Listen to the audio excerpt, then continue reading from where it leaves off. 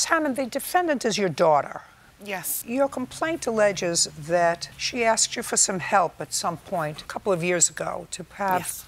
electricity turned on in an apartment that she was in. I gather you were living with a boyfriend who he left, and he left you there with a child, and he turned off the electricity, which was in his name. Correct. You called your mother, asked her for some help. I, She, I apologize.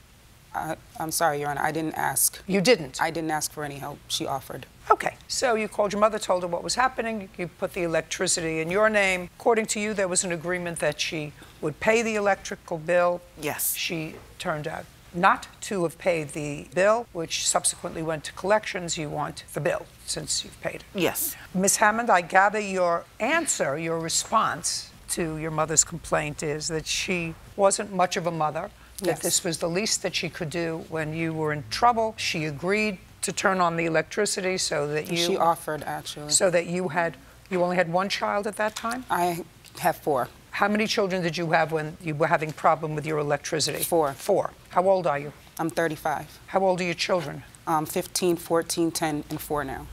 At the time, my daughter was one. Where are you living now? Um, in Massachusetts. Are you living with four children or with four children and anybody else? It's myself, four children, and my fiance. Do you work? Not at the moment. When was the last time you worked? It's been about three years. What do you do, Mrs. Hammond? I'm disabled at this point, and I am a part-time cashier. I started working um, in October of 2016. Prior to that, you were receiving disability? Yes, For how long? for five years. From when to when? It was January of 2011 to, no, excuse me, 2010, 2016. So it's been six years. You were receiving federal disability? Yes, not Social Security disability. Social Security disability? Yes, ma'am. And they cut that off. No, I am still receiving that. I'm on the Ticket to Work program. Tell me about that, just so I've never heard about it. So I want you to tell me about that program. So you still receive your Social Security disability. Yes, How much? it's 1300 a- a month. And you're required to work? I have wanted to work for some time and was, What's it, what is Ticket to Work? What is that program? is what I that program is is for nine months you are able to do a job and after the nine months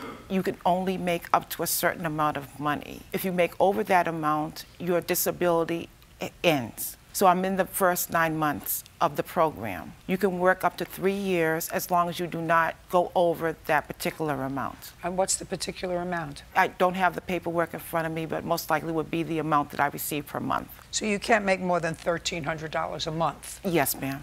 Got it. I gather from reading, and usually I don't like to go into all kinds of backstories, but this is sort of a, an interesting question. Your daughter, and you seem to acknowledge that you have a brother, correct? Correct. Your two children were voluntarily given over to social services when they were 10. No, no, ma'am. How old? My son was is, is 39 years old. They're about four years older. He was never given to the Department of Social Services. Who did he live with? He, at 10 years old, he moved in with my father because of educational purposes. He wasn't in the home. What?